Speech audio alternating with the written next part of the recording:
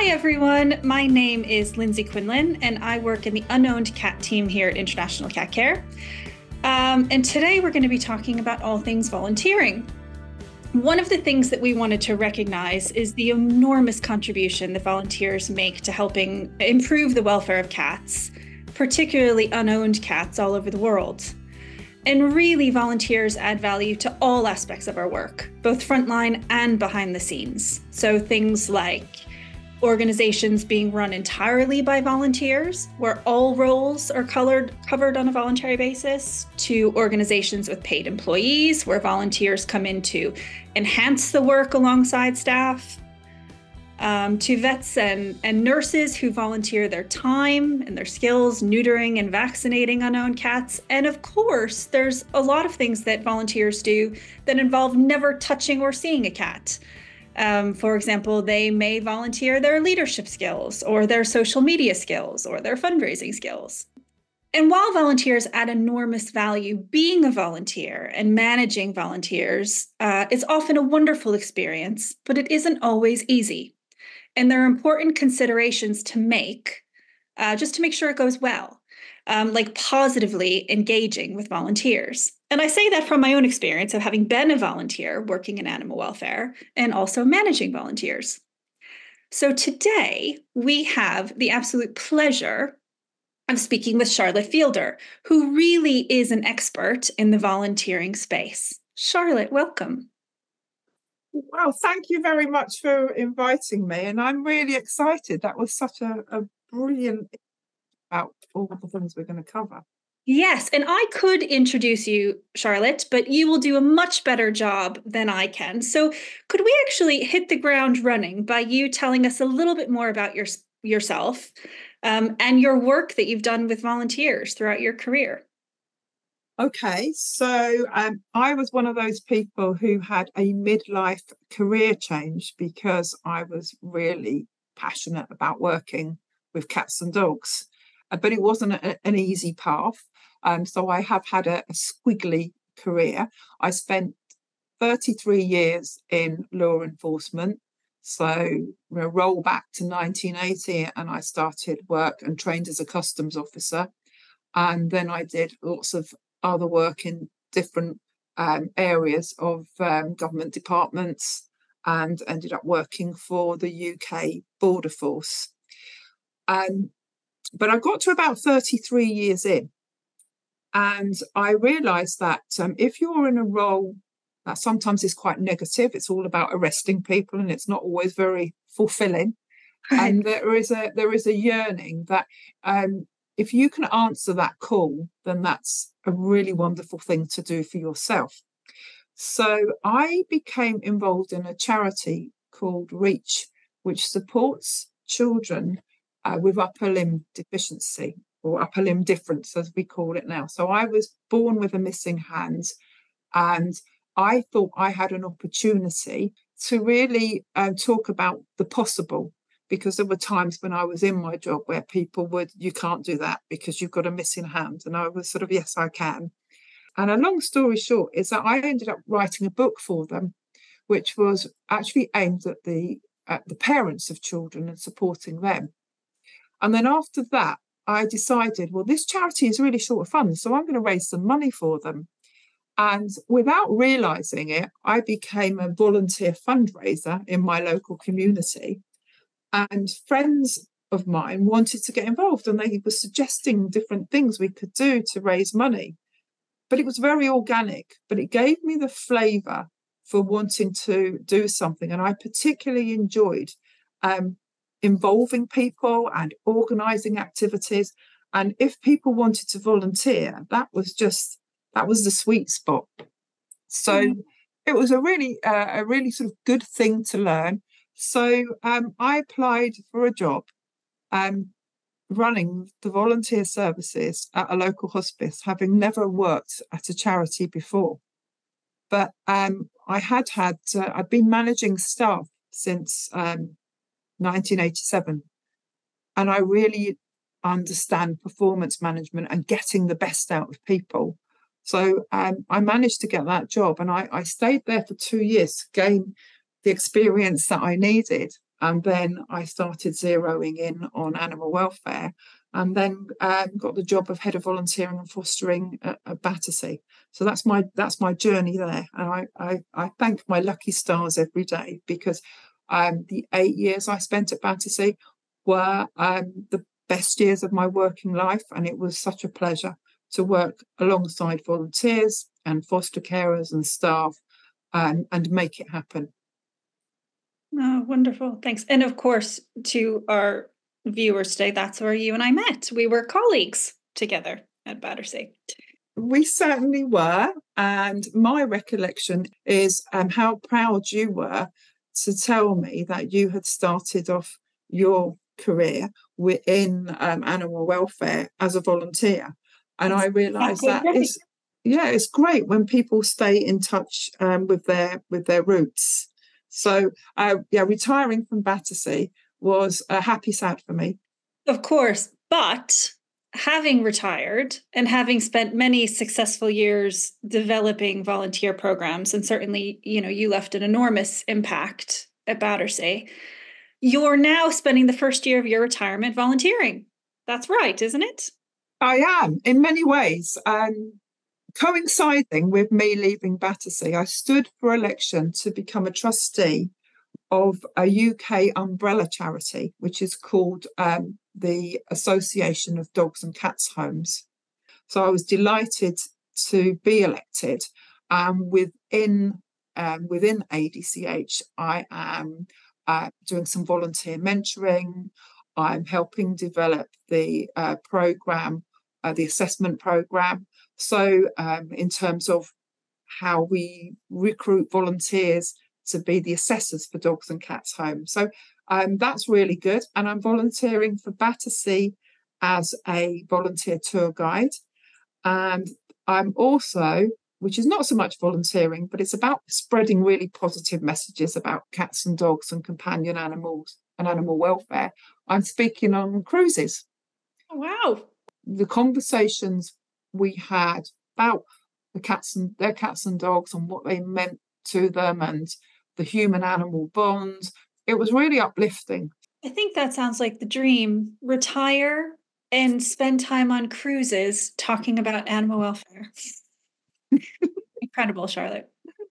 Um, so, you know, as we touched on, having worked with you for many years, I've seen firsthand how enthusiastic you are about volunteers, volunteering in general, uh, and I've seen you firsthand really instill a pro volunteering culture within a large organization. Uh, I mean, you you are the greatest volunteer advocate and ambassador and champion that I have ever seen in in my entire life. Where does that enthusiasm come from? Oh, that's that's such a good question. I I believe that it is easy to be enthusiastic when you love the work you do because every day is an opportunity to help those cats and dogs a little bit more. When I get off the train and I'm walking towards the gates of Battersea, I'm actually saying, Yes, I'm here. I'm here. And, and that's how it felt.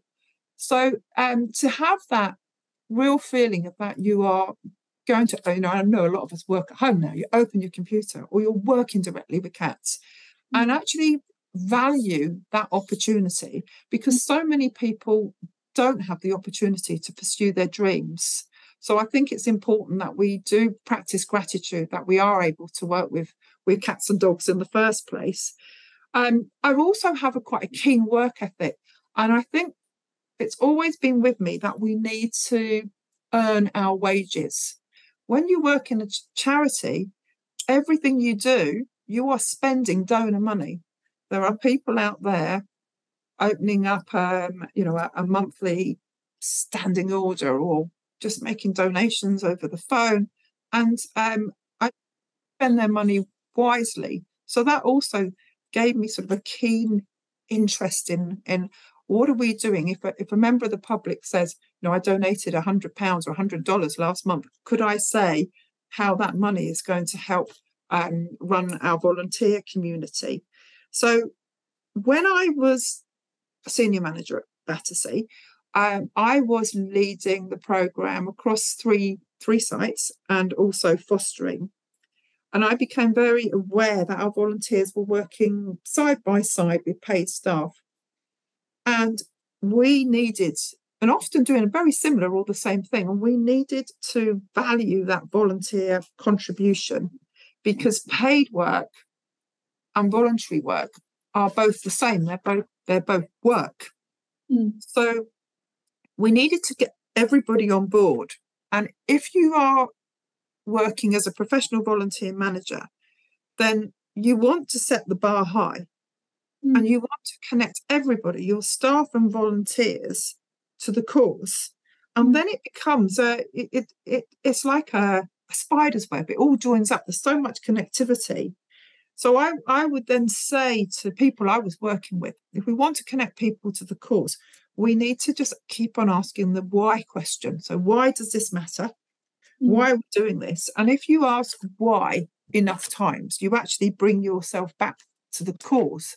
And that is something that we can all do with working alongside volunteers, with paid staff.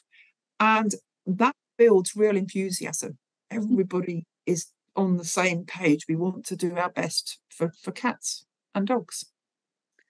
Yeah, you did that. I mean, I definitely would see that just in even in meet, you know, in meetings or you know, you would just give the reminder of sometimes is something as simple as why we why we need our volunteers and and what they what they give to us and for us and also how we can serve them to get to get the best out of them. Um you're you know you were a constant champion of the volunteer. Um keeping on the theme of enthusiasm when we were mm-hmm. exchanging emails to set up this call yeah uh, I wrote to you that we were keen to hear your perspective on how organizations can best work with volunteers so that um, I said so that everyone wins. Mm-hmm. Specifically, the organization, staff, volunteers, and of course, cats. And the concept of everyone winning really resonated with you. Uh, can you tell us more about that? Um, Okay, so you've referenced organisation, staff, volunteers, and cats. So imagine imagine a car, and that car's got four wheels. One wheel is the organisation, one is your staff, one's volunteers, one's your cats. For that car to run efficiently and to get you to where you want to be, all of those tyres need to be well maintained and inflated. Because if you've got a flat tyre, you're um, you're not going anywhere. But we need to invest our efforts equally in all of those components to to get the best out. And I, I did, I really did like the fact that everybody wins. And when I worked at the hospice, a lot of volunteers gave their time because they wanted to say thank you because the hospice had cared for a close family member or a close friend. And they felt it was their gift of time was to pay back that uh, that debt.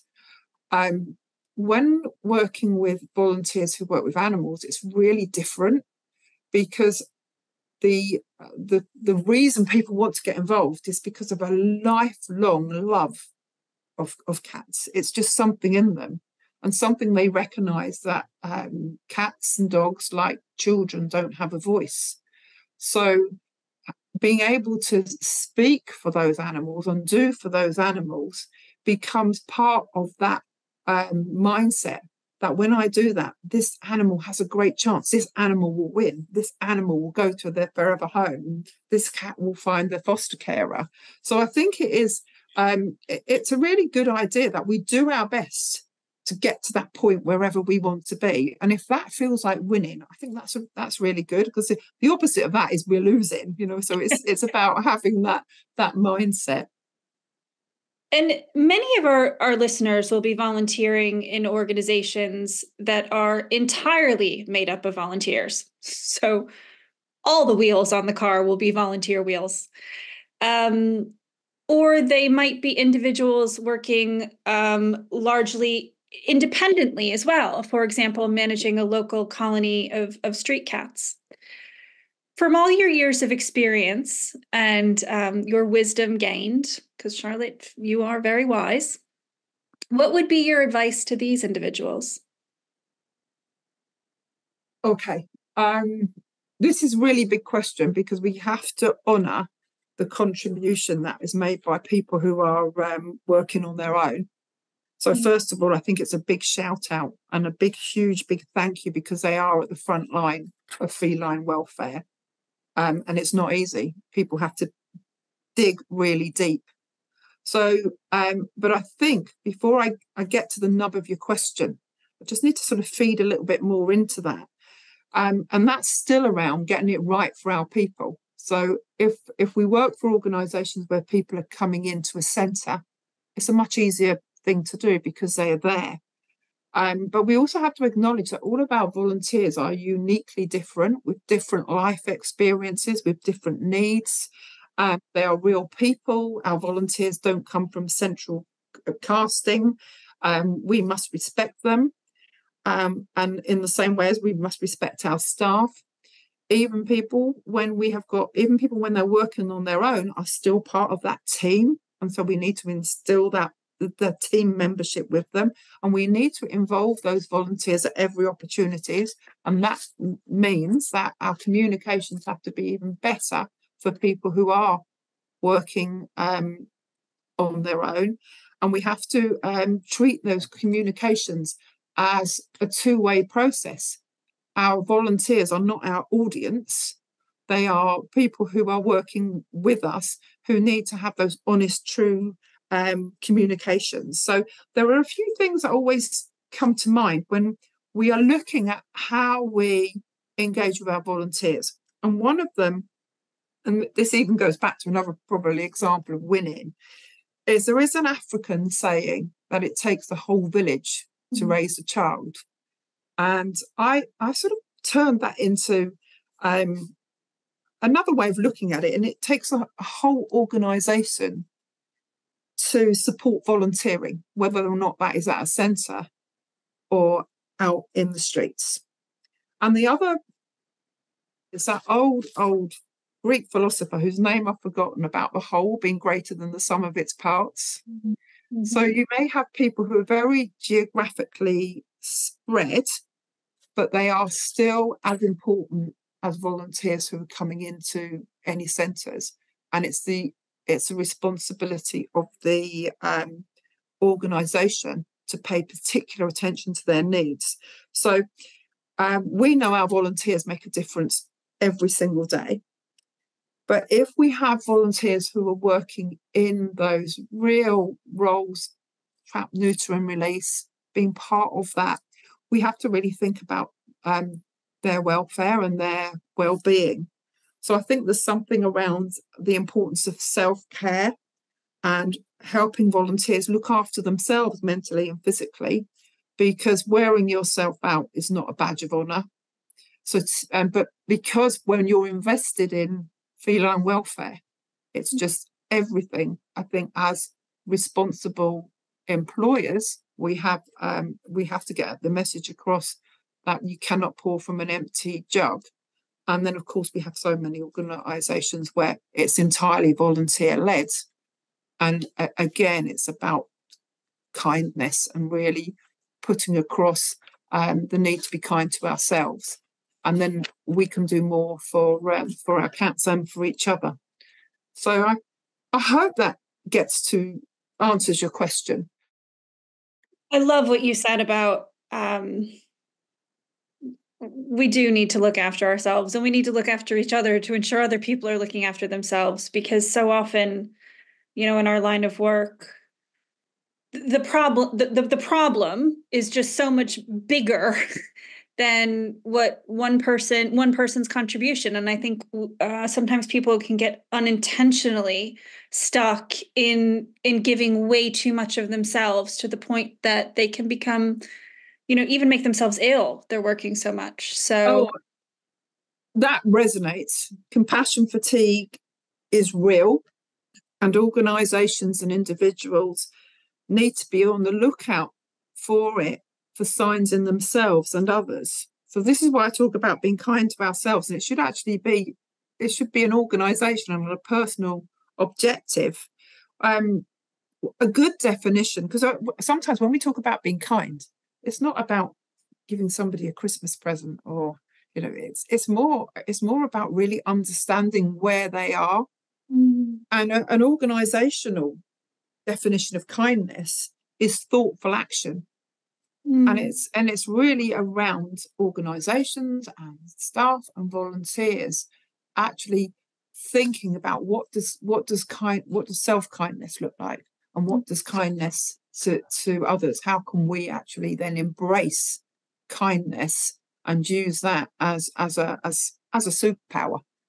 Switching switching course a little bit here. In my experience from having both volunteered in and been employed by animal welfare organizations um, i found that they can you know at times unintentionally get a bit stuck potentially in one of two categories. Um, on the one end of the spectrum is being perhaps a bit too heavy handed and dogmatic in their approach to volunteer management.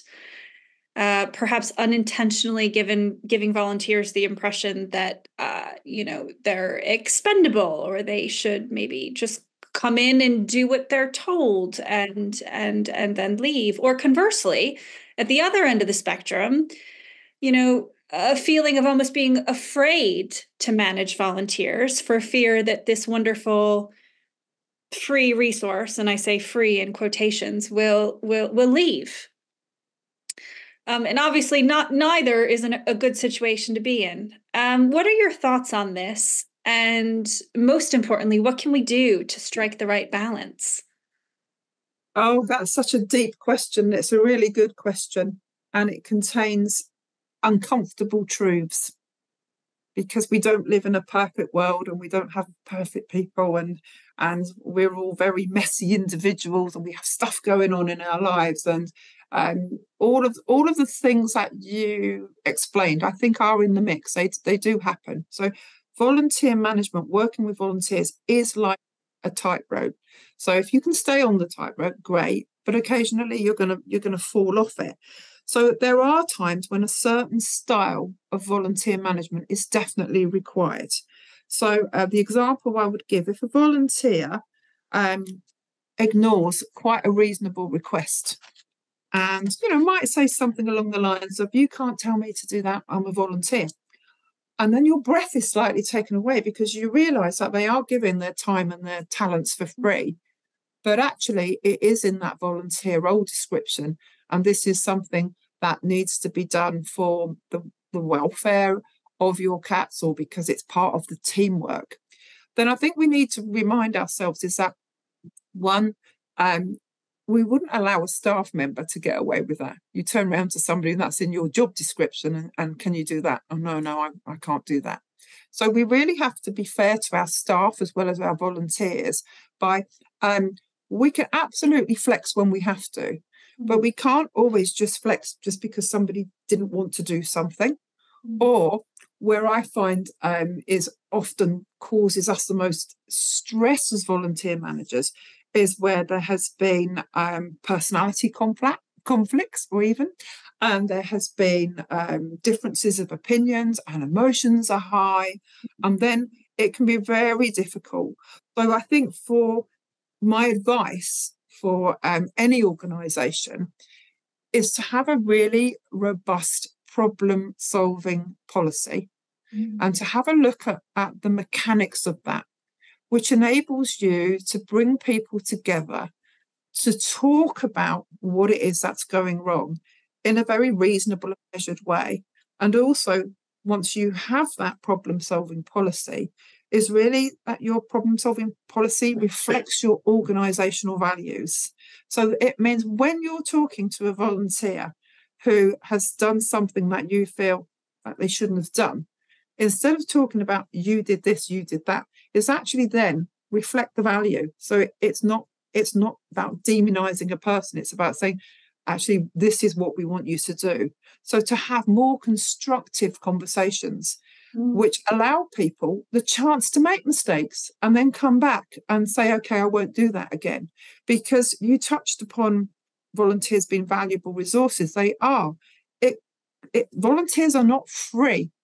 If you add in together all of the hours, um, the the people hours of your volunteer team or the people managing them, and the staff working in the cater- catteries, if we have um, volunteers leaving too quickly and our cycle of recruitment is really small, all you're doing is getting caught in this sort of loop of recruit, induct, train, little upset, leave.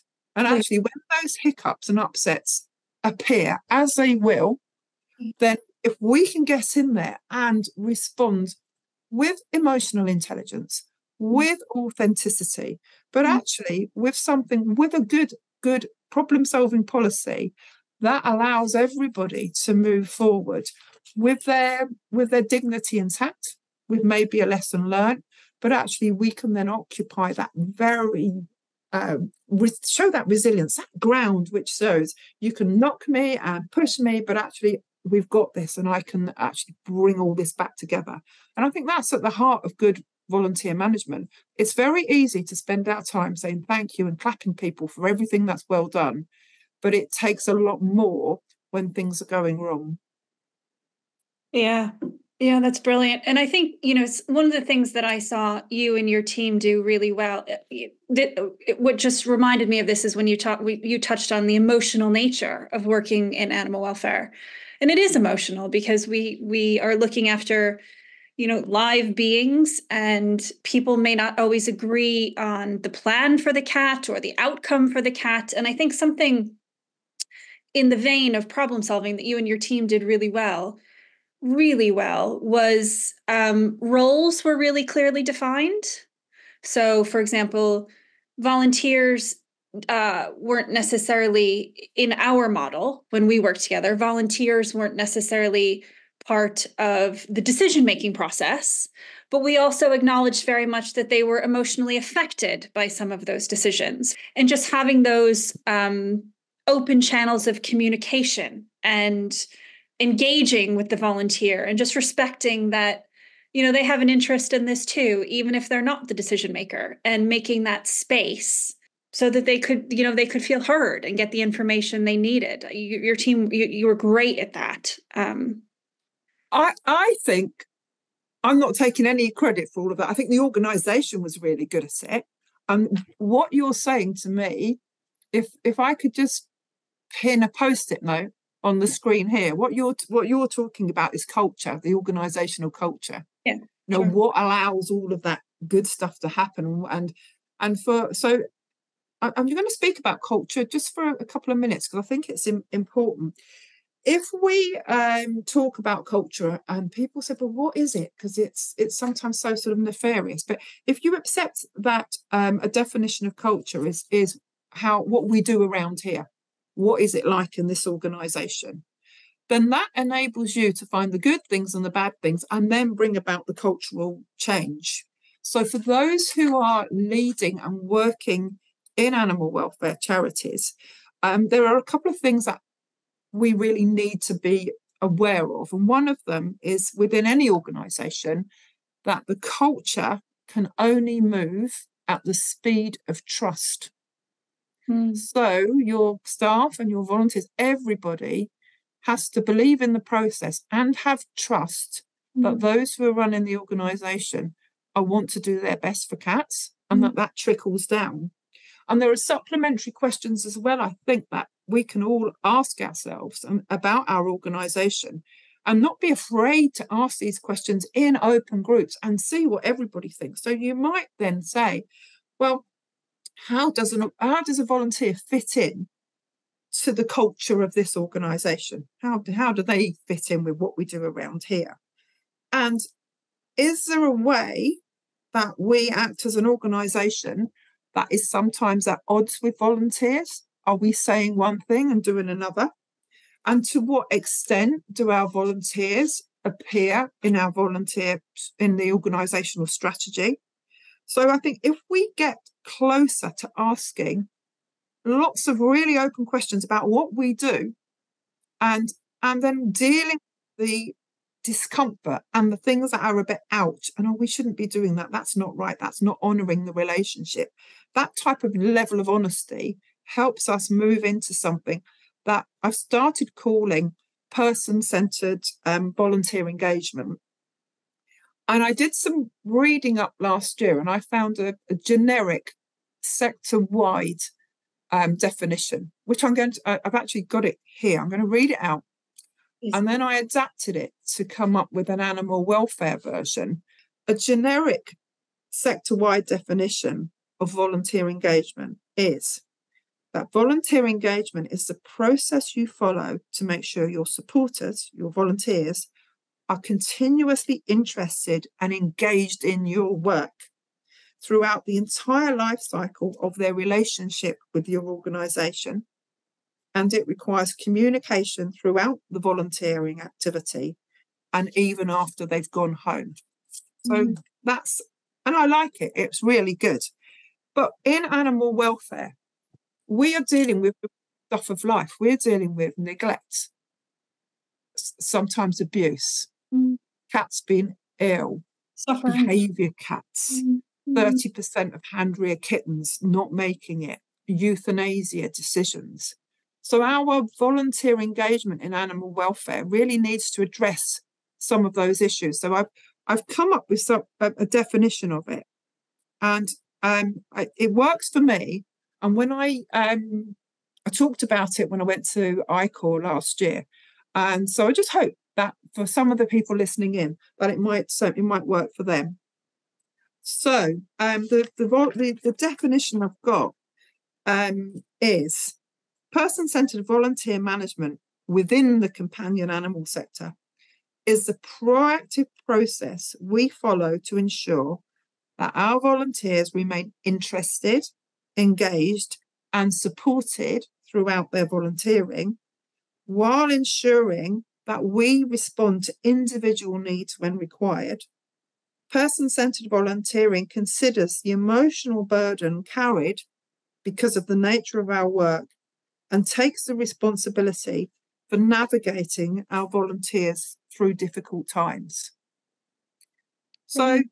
that is really about us as volunteer management professionals, people who work for charities, being there with our volunteers. When somebody says, I've come in and this week and this particular cat has gone home. I'm really happy that he's found his forever home, but I'm a little bit sad. That yeah, that's being being happy, sad. That's the stuff of, of life. But what we don't want is for our volunteers to be sad, sad. And because they've come in and a, a cat they really cared for that has become ill. And we need to be actually to really get close to other people's experiences and show that empathy and walk alongside with people. You know our audience and some of the people who will be listening to this they're they're spread out all all over the world. And um my, my question was actually going to be in your view what are things we need to consider when working with volunteers across you know different geographical regions? And i think some of what you just said answers that question in terms of um you know these really important themes that that transcend geography don't they? They're they are human centered as you said. What are your thoughts on that?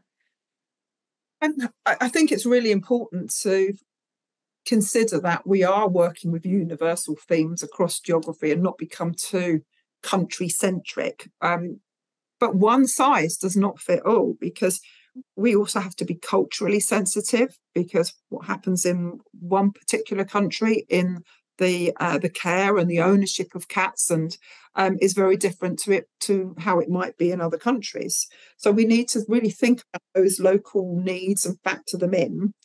And for me, the, the universal themes in volunteering are often around our desires to be to be happy and fulfilled. And and I read a really interesting quote, and it was by some Victorian, I think he was a clergyman, he was a man of the cloth. And he wrote about the, the three essential um, parts of happiness are that everybody needs to, be, to do something, and that everyone needs someone to love and someone to something to hope for. And I thought, well, how does that translate into our modern day work? And so these ingredients, if you take everyone needs something to do, well, we can say that's purpose. and everyone needs someone to love. Well, that can be your passion. That can be your passion for the cats you're trying to help. And something to hope for, that's your ambition. So we have our purpose, our passion, and our ambition, which takes us a long way. And these, these are absolutely, truly universal. Mm. But at the same time, I recognize that we're not living in a, a fridge magnet society. Mm. It's it's it's much more involved than just the desire to do good or be happy. And this is where, you know, earlier on we spoke about the importance of getting the culture right. Absolutely, we must do everything we can to understand and improve the culture of our organizations. And also, I think we really have to do a lot of work about understanding volunteer motivation, wherever that is in the world, because it, individual motivation, they're very different there was a study where the top two motivations might be I care about the cause and I want to make a difference. And they're pretty sort of standard answers in volunteer surveys. But uh, there are other motivations as well. And if we understand what they are, that enables us to really connect our volunteers more to the mm. support them. And I think there's something that uh, we really need to understand about tasking. You know, what are we asking our volunteers to do and what is the you know what's the impact for the organization hopefully that's going to help us rehome more cats care for more cats neuter more cats but actually what impact does that have on our volunteers of our volunteers so yes have some sort of high high ideals about how we want to be happy and fulfilled but mm. also to consider the the psycholo- psychological dimensions of volunteering and make sure that we're not just ignoring something because it's in the too difficult box. Really great answer. Really thought provoking, philosophical stuff coming from you today, Charlotte. Well, it's, it's it's from the heart. It's what I truly believe. I never say anything that I just think, "Oh, that sounds good." Yeah, I, I, I truly believe it, um, yeah. because because the people, our people, are our biggest resource. They are the people who make things happen. Look after our people. And that's something that we have to do every single day. We cannot ignore looking after the people who are delivering our services. Yeah, and I was thinking back to my own motivation when I started volunteering. Um, my first job was a, a volunteer dog walker, and my motivation wasn't entirely to, to to help dogs. It was I just moved to the to London from the US. I'd never been on public transport before in my life. Suddenly I'm living in this, you know, enormous city and part of my motivation was to immerse myself in London life before I looked for a job, uh, you know, a paid job. People might find that motivation surprising because it wasn't just about helping helping dogs. I wanted to meet people. I wanted to learn how to take the train. I it was Battersea happened to be on my train line. I mean, there were uh, you know many reasons why I ended up there that weren't just because I wanted to help the cause. And you're absolutely right. And uh, and meeting people is one of the is a prime motivation for people joining charities is actually meeting like-minded people or they just want to get out of what they're doing and broaden their horizons, as is getting fit. Some people want to come and volunteer in animal facing roles because they know they're going to be cleaning a cattery pen and doing things. Yeah. Um, some people do it for their mental health. There are a whole raft of reasons why people join us. If we can understand those motivations, we stand a better chance of keeping those people yeah. because we and do getting more. the best out of them. Absolutely. Yeah. Okay, switching gears here a bit. So, um, cat population projects, you know, we've talked about they happen all over the world. Um, you know, cat pop, massive over cat populations is a problem everywhere. Um, and they're often about the projects themselves are often about setting up the capacity and the process and then leaving it in the hands of locals who are essentially volunteering their time to maintain the work the work being you know monitoring the unowned cat population potentially trap neutering vaccinating and returning. And the locals will often uh, participate as i said on a voluntary basis. And as we know in cat population management when we take our foot off the pedal populations can boom again and progress. That's been you know a lot of hard work that's gone into to creating that progress can be undone undone very quickly Um, so I wanted to ask you, what are your thoughts on sustainability in these types of, um, you know, voluntary situations? Okay, I'm, I'm going to acknowledge the, the scale of the problem. And it's also important to acknowledge that the work you describe also has to be done at scale relentlessly. And that can sometimes feel really heavy, especially if, for whatever reason, say COVID or um, natural disasters um, in country, where um, the work has to cease go back in and start again. And it can be quite demoralizing because you see the impact on the uh, on on the cat um, community. So my my concern are probably twofold. I have concerns where there's where there's one person doing something all of the time, and that's around their welfare. But also, if you've just got one person who takes responsibility for it, then it makes it harder to recruit somebody else to come in and help. So, in terms of wider su- sustainability, I think there's an area of work for us to get into here, which is really around community engagement and making the wider community within the areas where um, cat populations are a problem is to get them invested and involved. So even if they're not able to actually go and do the work, they can be the support. They could be fundraising, they could be offering storage space, they could be going out with cups of tea, whatever it is, is that one person or a small group of people never feel on their own with it.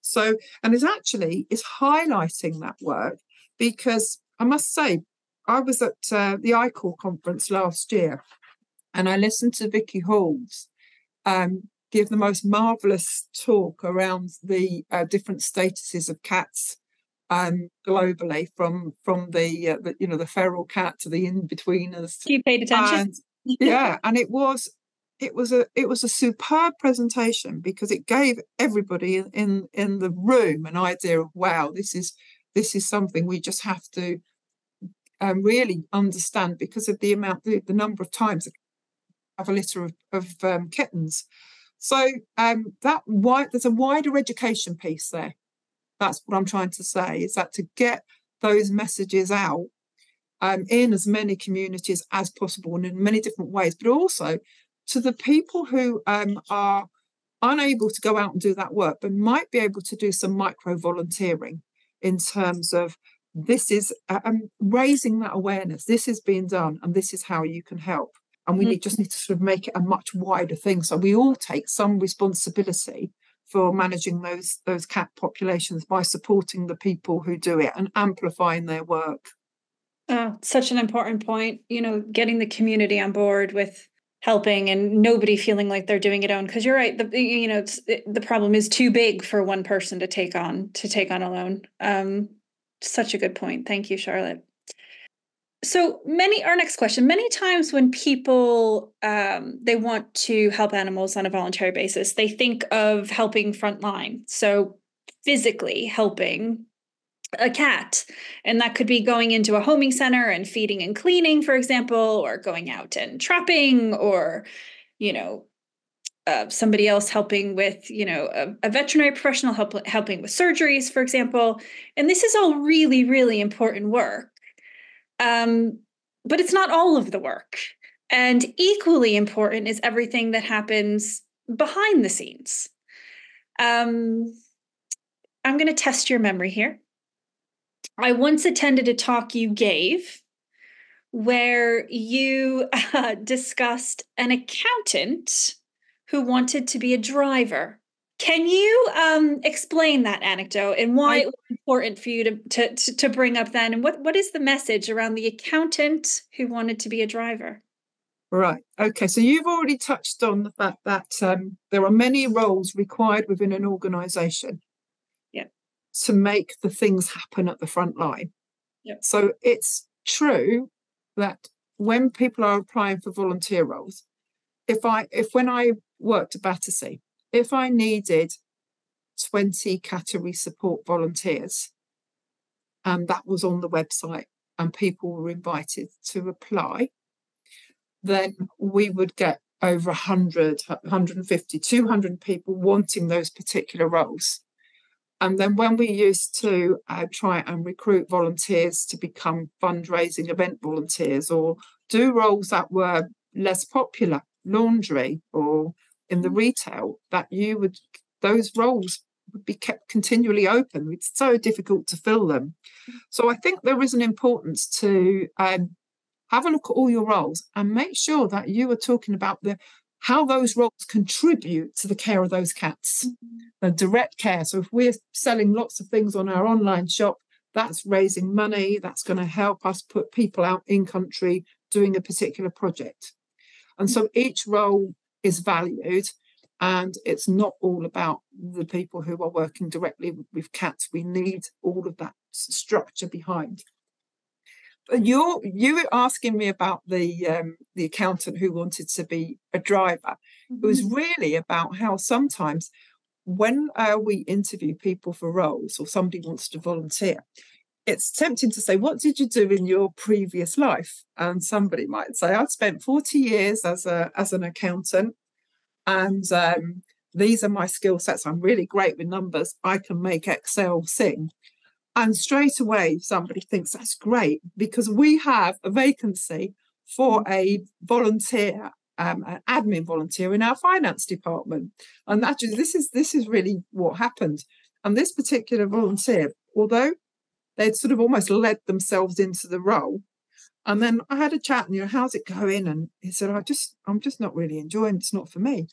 And uh, said, oh, you know, everybody has great feedback. You're just, you just get it straight away, and you're really helping organising them. He said, I spent all these years just doing numbers, and actually, I would quite like to do something for the patients.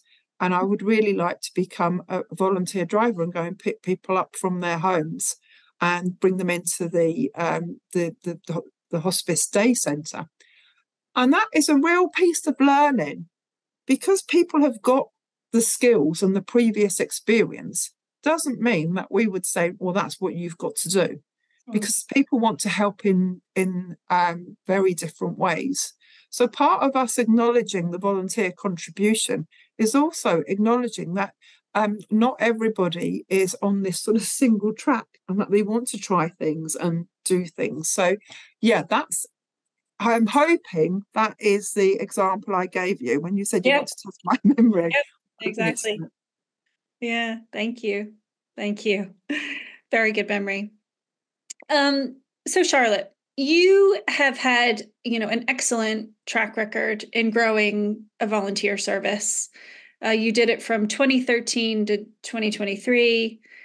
Um, is there any special ingredient to your recipe for success that we haven't touched on yet in our discussion? Um, well, thank you for saying that. But I, I am going to say again, I, I, was surrounded by amazing people, and it was so much teamwork. My um, my speciality, if you like, is that I've always been able to motivate people, describe where we're trying to be, talk about the cause, and and get other get buy-in. Um, but in terms of of, I don't think it's any special characteristics. I think having a really open mindset has always helped me. I used to have a little sign up on the wall in my office at Battersea, and it said, um, "Be curious rather than suspicious." Mm. Because as human beings, we can we always have a you know sometimes like a bit like a negative bias, isn't it? We have a feeling of of when something uh, is offered to us. Well, what do they want? what does this mean? We can sort of see things through a particular filter. Sure. And so being being curious about people's intentions and assuming good, assuming good intentions is actually a much better place to be. So it's sort of meeting people with that smile and I would say to underline that would be um, giving people the benefit of the doubt.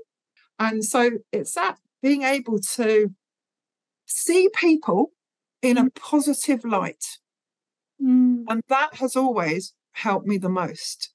I'm so glad you said that, especially about be curious, because something that you prob- you you may or may not know is that uh, at International Cat Care we have cat friendly principles that really guide all of our work, and one of them is evolve for cats. And what that means is we want people to be innovative and we actually use the language remain curious. Oh, I didn't know. And keep learning for cats. And it's that whole curiosity and having an open mind um, that just adds so much value to to you know a multitude of situations doesn't it? I'm so glad you said that. Um yeah you're right. If we always do what we've always done we always get what we always got. You know do things differently. Yeah. be professionally curious yeah give people the benefit of the doubt and and have that feeling that together we can we can actually do more and then I think that's how we we make the greater impact. But if we if it's defensiveness and and being mm. closed that causes problems, but being prepared to get out there, allow yourself to be vulnerable, mm. allow yourself to be able to say, actually, I don't know. I, I've not had this experience before, but I want to learn. Let's learn together because nobody has the monopoly on always being right. And that's that's that to me is how is how we get on in organizations is is really knowing where this is not my area of expertise but i want to find out about it exactly and i think just because at one point we did something one way we we did so with the best of intentions with the information we had at that time and as we keep learning then we can apply that and we can do things differently and do better and it doesn't mean what we did is bad it just means now we're in a position to do things better than we did before. Um, I think that's so important, both with working directly with cats and with working with, you know, volunteers, as we've been talking about. You're so right. It's that continuous improvement. In fact, I was taking some people on a tour of Battersea, London. Um, we were looking at a photograph of of Battersea Cattery. It was a black and white photo. It could have been taken, I don't know, 60, 80 years ago. It's such an old photograph. And it showed um, crates on top of each other with cats in each one.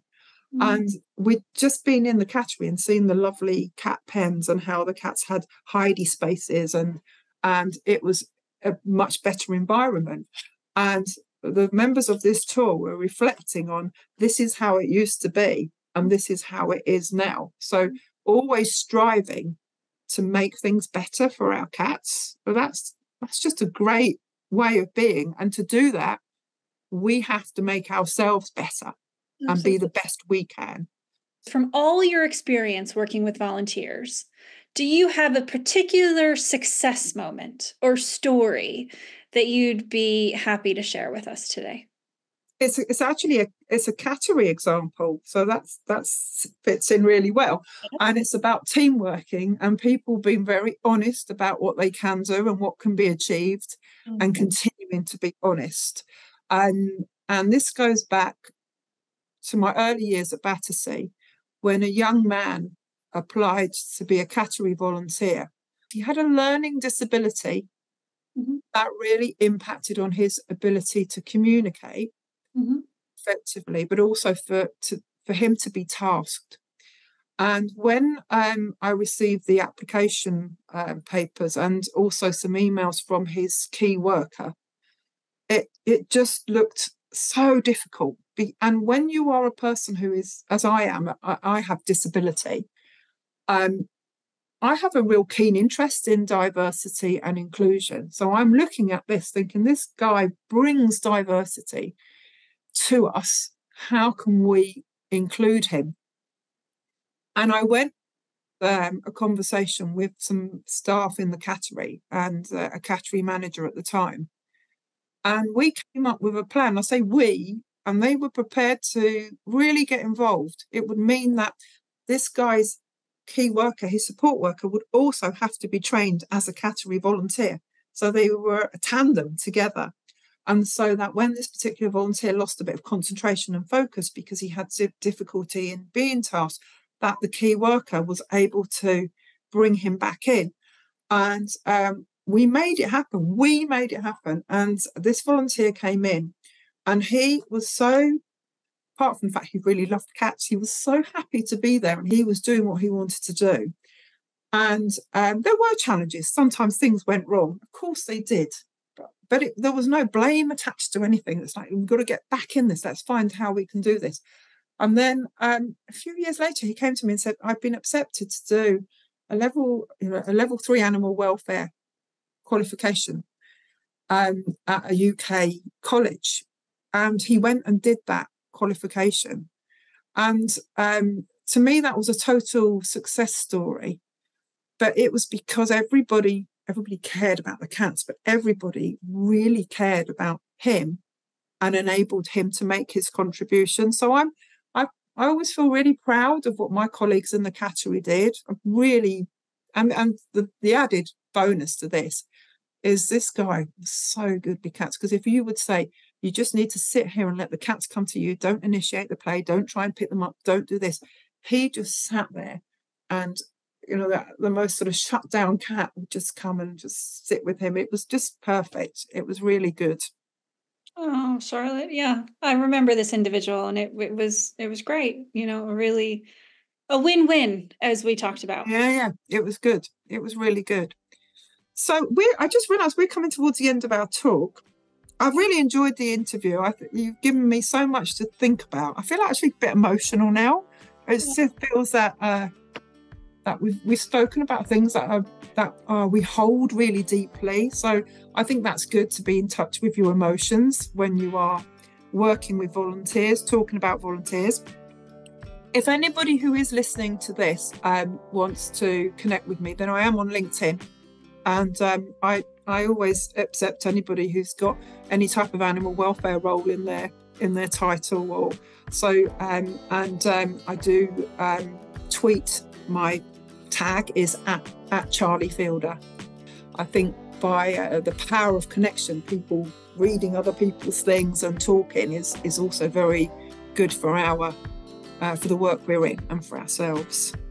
Oh, Charlotte, thank you. It, it's thank you. It's been such an enjoyable hour that's gone by really quickly um, speaking with you, and um, I've learned a lot, and I'm sure our audience will as well. And it's been really inspiring. Um, thank you. Thank you so much for your time. Uh, which is all mine. I thank you. And I just send my absolute best wishes to all in iCatCare and carry on doing the fabulous work that you do and talking about that work because uh, you make such a difference to the lives of cats. Thank you. And this definitely will not be the end. We will we will definitely invite you back because you have so much to share. Thanks again, Thank Charlotte. you. Thank you.